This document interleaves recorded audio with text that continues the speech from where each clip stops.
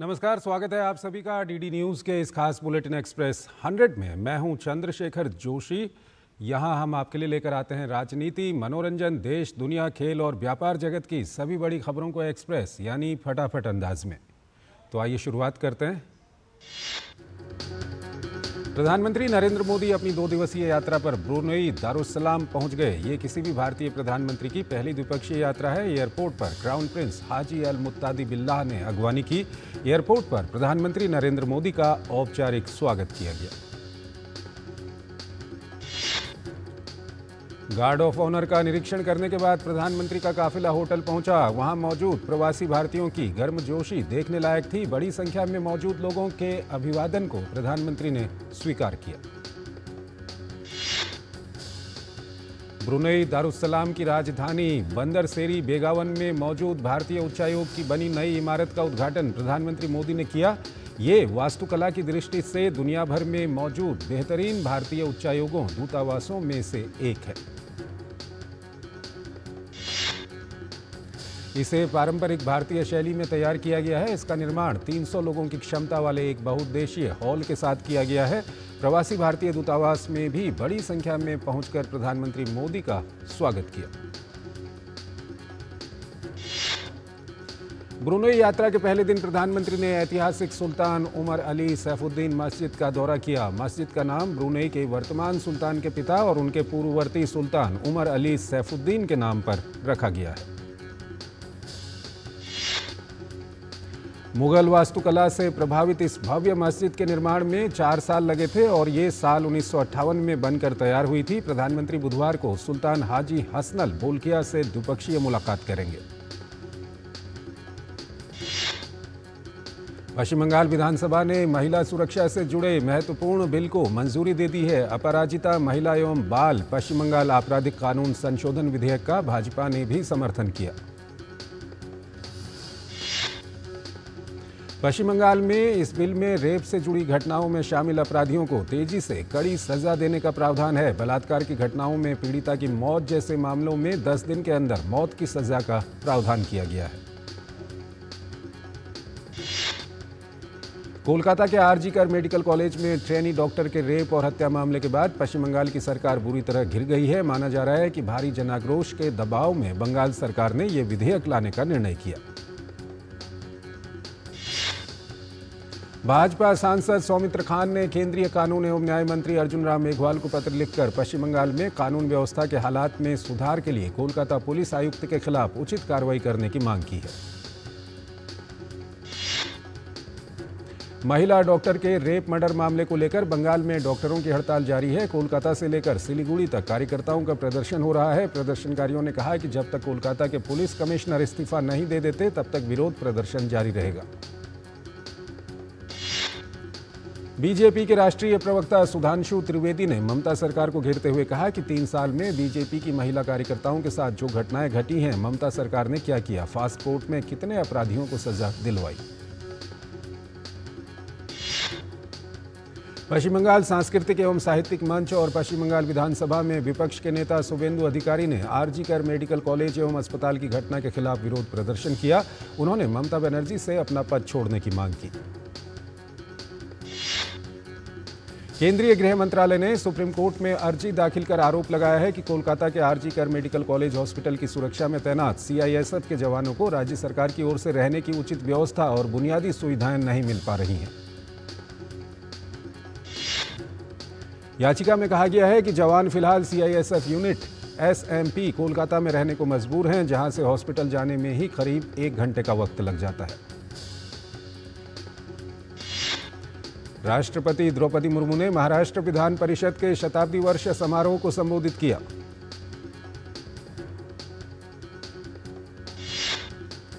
राष्ट्रपति द्रौपदी मुर्मू ने मुंबई में चैत्य भूमि पर बाबा साहेब अंबेडकर को श्रद्धांजलि भी अर्पित की।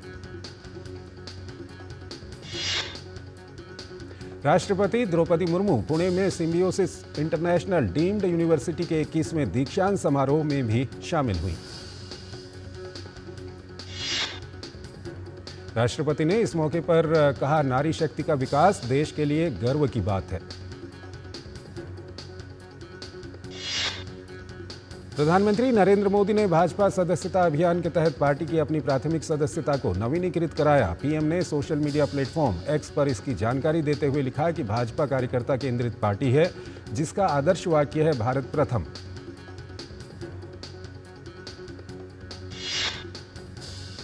राजस्थान में बीजेपी का सदस्यता अभियान शुरू हो चुका है। मुख्यमंत्री भजनलाल शर्मा ने अभियान की शुरुआत की। भाजपा प्रदेश में सवा करोड़ सदस्यों को पार्टी परिवार का सदस्य बनाएगी।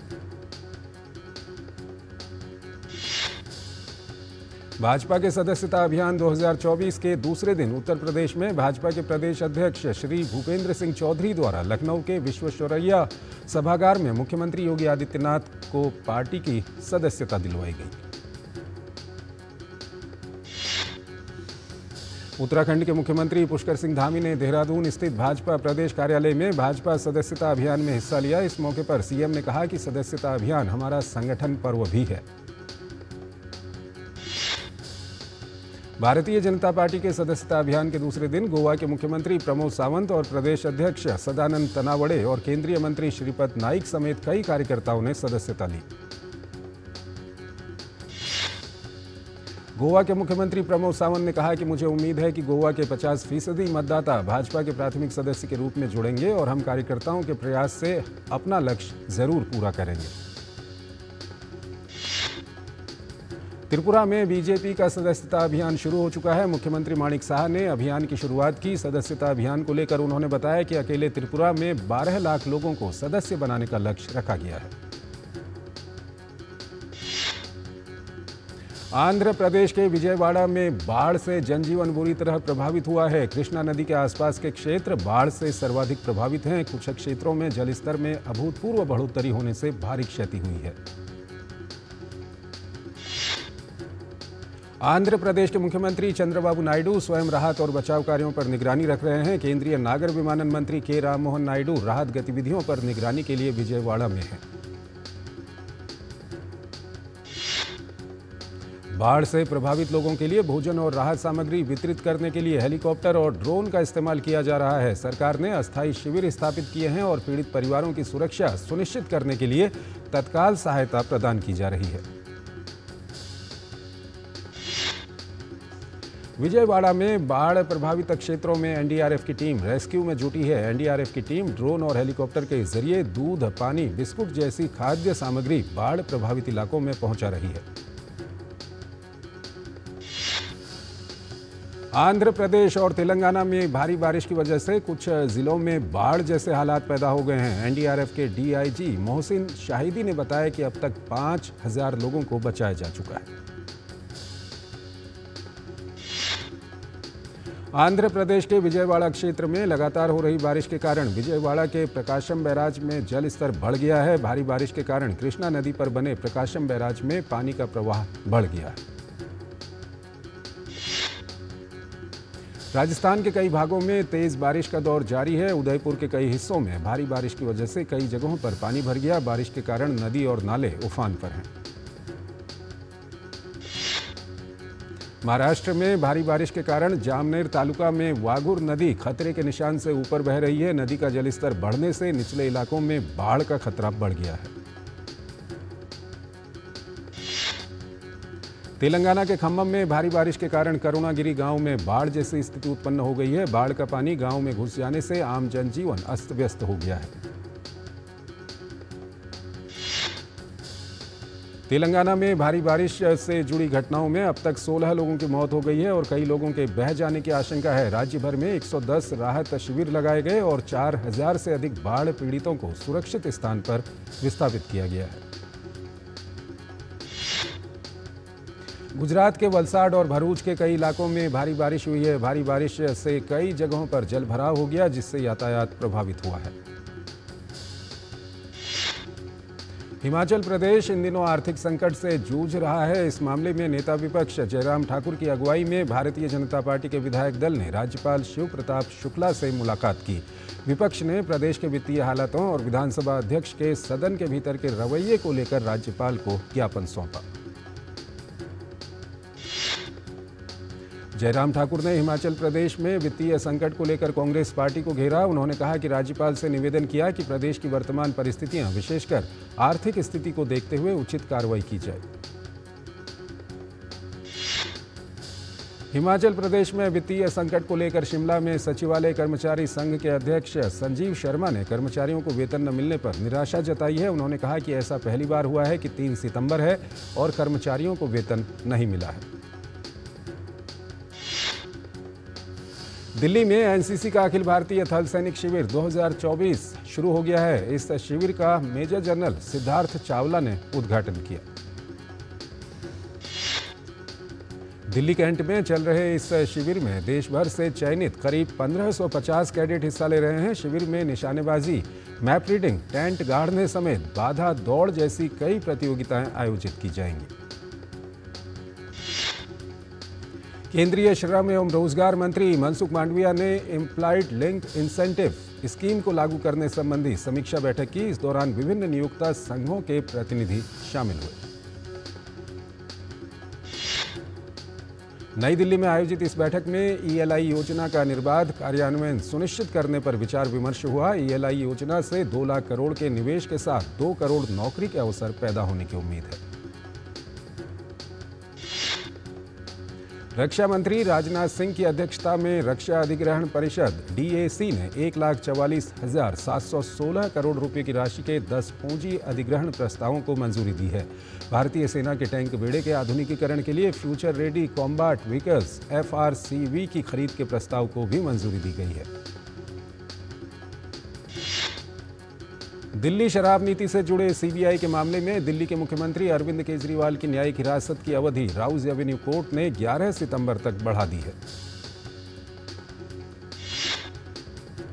आबकारी नीति मामले में अरविंद केजरीवाल के खिलाफ सीबीआई की ओर से दाखिल चार्जशीट पर राउज एवेन्यू कोर्ट ने संज्ञान लिया। कोर्ट ने केजरीवाल की पेशी के लिए प्रोडक्शन वारंट जारी किया। उस दिन केजरीवाल वीडियो कॉन्फ्रेंसिंग के ज़रिए पेश होंगे। अगली सुनवाई 11 सितंबर को होगी। विश्व बैंक ने कृषि क्षेत्र और ग्रामीण मांग में सुधार के दम पर चालू वित्त वर्ष 2024-25 में भारतीय अर्थव्यवस्था की वृद्धि दर सात फ़ीसदी रहने का अनुमान लगाया है। विश्व बैंक ने इससे पहले जून में अनुमान लगाया था कि भारत की वृद्धि दर छः प्रतिशत रहेगी। विश्व बैंक की मंगलवार को जारी रिपोर्ट में कहा गया है कि चुनौतीपूर्ण वैश्विक माहौल के बावजूद भारत की वृद्धि दर मज़बूत बनी हुई है। विश्व बैंक की ओर से कहा गया है कि मानसून और निजी खपत में सुधार के दम पर भारत के जीडीपी के पूर्वानुमान को संशोधित किया गया है। एक छोटा सा ब्रेक। शादी का किचन महके जहाँ गोल्डी किचन किंग मसाले हो वहाँ। गोल्डी लाई है फ्रेश लॉक टेक्नोलॉजी। रखे मसालों को हर समय फ्रेश अरे ऋषि आज स्कूल नहीं गए? तीन महीने से फ़ीस नहीं भर पाई तो निकाल दिया स्कूल ने। कहीं आपके बाद आपके बच्चों के सपने न टूट जाएँ। आज ही लीजिए पॉलिसी बाज़ार पे दो करोड़ का टर्म लाइफ इंश्योरेंस सिर्फ़ छह सौ नब्बे रूपए महीने से शुरू।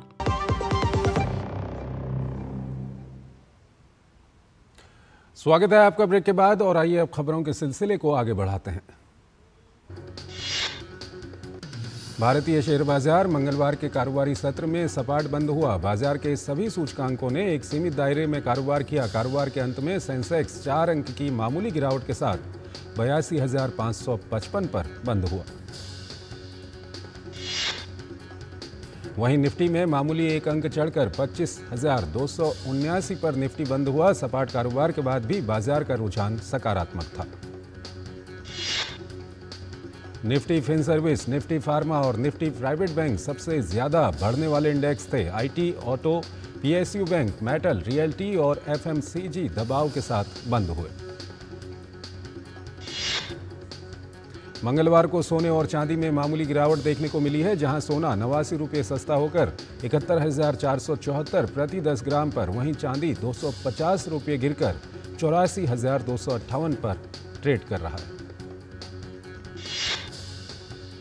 एक लाख रुपए और उससे ऊपर के स्मार्टफ़ोन की बिक्री में साल दर साल। वर्ष की पहली तिमाही में 20 प्रतिशत और दूसरी तिमाही में 10 प्रतिशत की वृद्धि हुई है। इस साल की पहली छमाही में एक लाख रुपए और उससे ऊपर के सेगमेंट की बाज़ार हिस्सेदारी एक प्रतिशत से कुछ अधिक रही।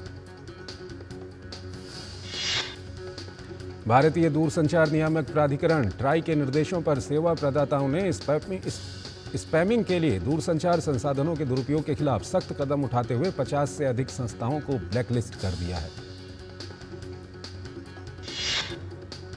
बढ़ती आय और वैश्विक संस्कृतियों के प्रति अधिक जागरूकता से पिछले एक साल में दो या अधिक विदेश यात्राएँ करने वाले भारतीयों की संख्या में 32 प्रतिशत का इजाफा हुआ है। अंतर्राष्ट्रीय स्तर पर कच्चे तेल की कीमतों में लगातार तीव्र गिरावट जारी रहने के बावजूद घरेलू स्तर पर पेट्रोल और डीजल के दाम यथावत रहे, जिससे दिल्ली में पेट्रोल चौरानबे दशमलव सात दो रुपये प्रति लीटर और डीजल सत्तासी दशमलव छः दो रुपये प्रति लीटर पर रहा। गाजा में शनिवार को मृत पाए गए छह इजरायली बंधकों को वापस लाने में नाकाम रहने पर प्रधानमंत्री बेनियामिन नेतन्याहू ने इजरायली जनता से माफ़ी मांगी है। उधर हमास ने चेतावनी दी है कि अगर युद्ध विराम पर समझौता नहीं हुआ तो अन्य बंधकों को भी नुकसान पहुँचाया जाएगा। नेतन्याहू का ये बयान ऐसे समय में आया है जब समझौता वार्ता को अंजाम देने के उनके तरीके को लेकर इसराइल में दूसरी रात भी विरोध प्रदर्शन जारी रहे।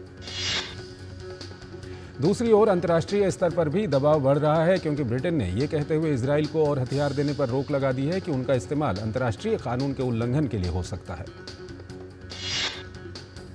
अमेरिकी राष्ट्रपति जो बाइडेन ने इसराइल के प्रधानमंत्री बेनियामिन नेतन्याहू पर निशाना साधा है, उन्होंने कहा है कि वो युद्ध को रोकने और बंधकों की रिहाई के प्रस्ताव पर ज़्यादा अमल नहीं कर रहे हैं। कुर्स्क क्षेत्र में यूक्रेनी सैनिकों की घुसपैठ के बाद रूस ने यूक्रेनी क्षेत्रों पर हमलों को तेज कर दिया है। रूस कीव समेत दूसरे इलाकों पर ताबड़तोड़ हमले कर रहा है। मध्य यूक्रेन का पोल्टावा, रूस के भीषण हमले का शिकार हुआ। हमले में एक सैन्य शिक्षण संस्थान और अस्पताल को निशाना बनाया गया। इस हमले में 41 लोगों की मौत हो गई है, जबकि 180 अन्य घायल हुए हैं। राष्ट्रपति वोलोदिमिर जेलेंस्की ने बताया कि दो बैलिस्टिक मिसाइलों ने लक्ष्य को निशाना बनाया। उन्होंने हमले की परिस्थितियों की पूर्ण और त्वरित जाँच के आदेश दिए हैं। राहत और बचाव तुरंत घटनास्थल पर पहुंचकर काम राहत और बचाव दल ने शुरू किया। पोल्टावा रूसी सीमा से लगभग 120 किलोमीटर दूर है। हालाँकि शहर नियमित रूप से मिसाइल हमलों का निशाना बनता रहा है, लेकिन इस तरह का हमला पहले कभी नहीं हुआ था। तीन लाख की आबादी वाला ये शहर रूसी हमले के बाद से बड़ी संख्या में शरणार्थियों का घर बन गया है। माना जा रहा है कि हमले इसकंदर एम मिसाइल का इस्तेमाल हमले में किया गया। इसकी मारक क्षमता 500 किलोमीटर है। रूसी मिसाइलों और ड्रोन ने इसके अलावा जापोरेजे और निप्रो में भी कहर बरपाया है। जापोरेजे हमले में दो लोगों और निप्रो में एक व्यक्ति की मौत हो गई है। रेलवे के बुनियादी ढांचे और चेरनी हाइव में एक ऊर्जा संयंत्र को भी निशाना बनाया गया।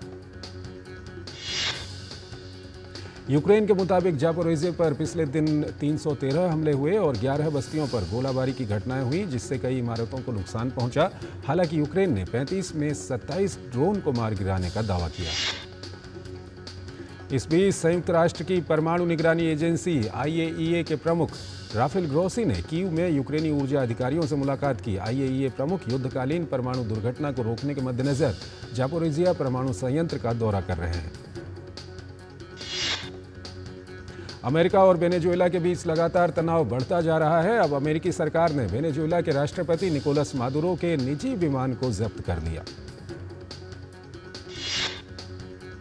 व्हाइट हाउस के अधिकारियों ने कहा है कि बाइडेन प्रशासन मादुरो पर हालिया राष्ट्रपति चुनाव के नतीजों में कथित धांधली करने को लेकर दबाव बनाने की कोशिश कर रहा है।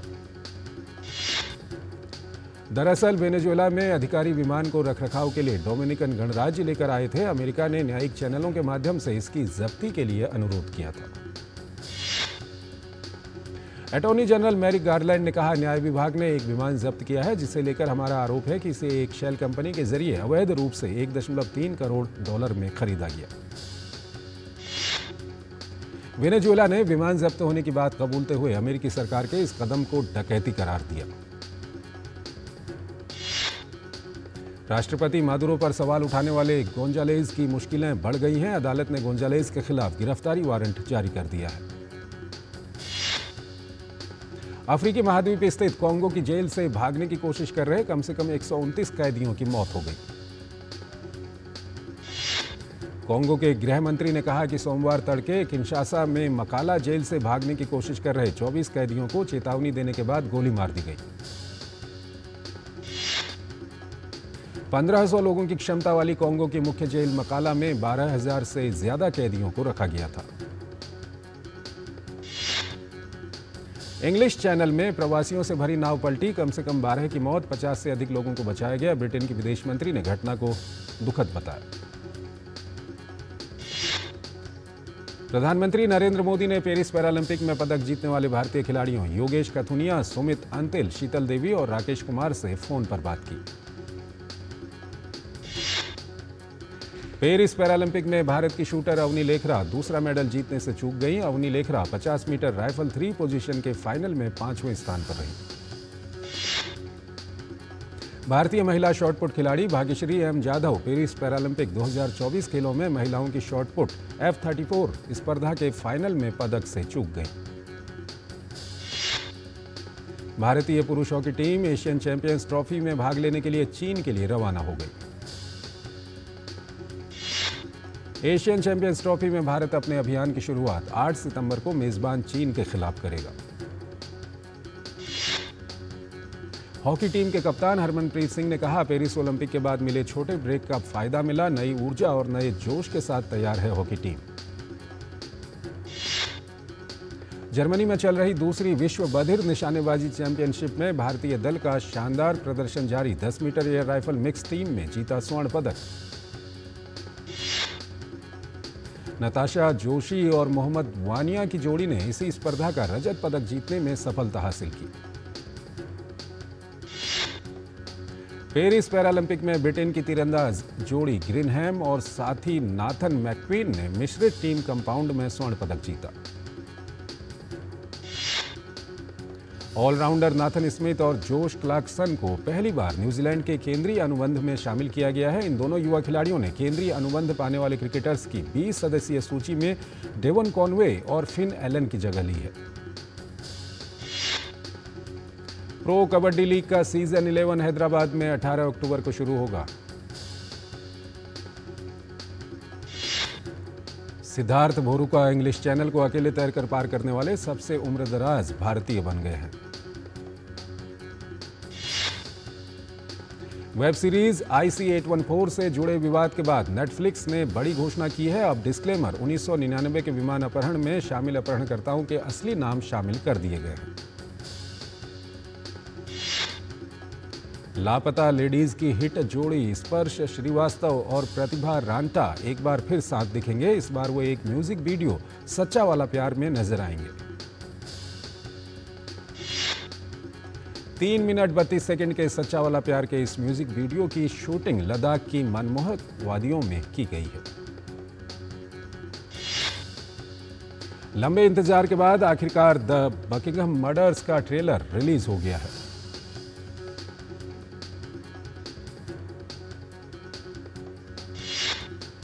मुकेश भट्ट की आशिकी, तू ही आशिकी और तू ही आशिकी है टाइटल पर। दिल्ली हाईकोर्ट ने रोक लगाई है।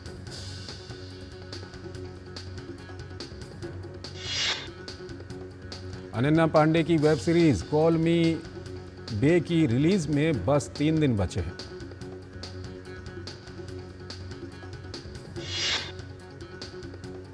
प्रोड्यूसर सुनील बोहरा और राइटर अखिलेश जायसवाल 12 साल बाद प्रोजेक्ट के लिए साथ आए हैं।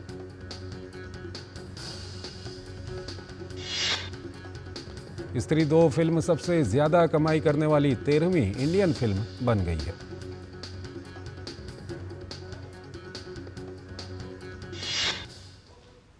तो एक्सप्रेस न्यूज़ में फ़िलहाल इतना ही। आप हमारी पूरी टीम को इजाज़त दीजिए। नमस्कार।